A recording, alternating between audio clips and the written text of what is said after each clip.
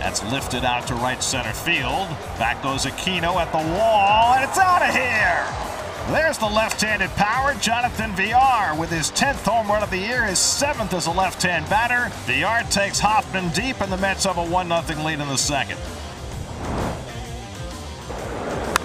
That's slapped on the ground through the hole, base hit. And he pulls that one on the ground. That goes through the hole for a base hit. That's ripped into left field, a base hit for Alonso. Hit so hard they're going to have to hold Nimmo at third. So three straight base hits, and that was an absolute seed off the bat of Alonso to load the bases with nobody out. Infield back, and he's ready first pitch, but he flies it out to deep left field. Back goes Winker near the wall, and it's out of here!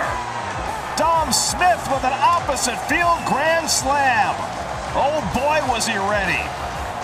Second career grand slam for Dom, his 11th home run of the year, and it's 5 to nothing New York.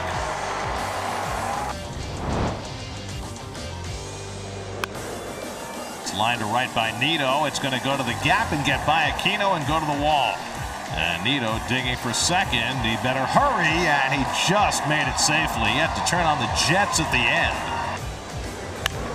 Lines that to right center field. Deep back goes Aquino, and it's out of here. Luis Guillorme with his first home run of the season. A two-run shot to open up a 7-0 Met lead. Whoa, Stroman somehow knocked that down. That is an athletic play by Marcus Stroman. Fine play. That's why they hand out the gold.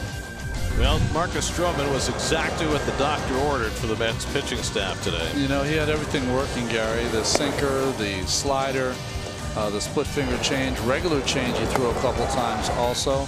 Eight shutout innings when the Mets needed it the most.